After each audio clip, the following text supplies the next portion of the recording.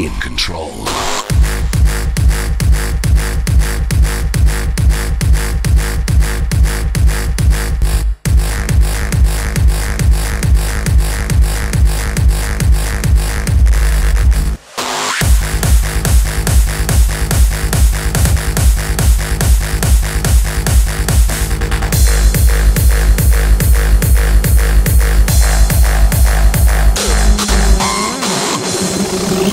Overall driver of human impact on Earth systems is the consumption of biophysical resources.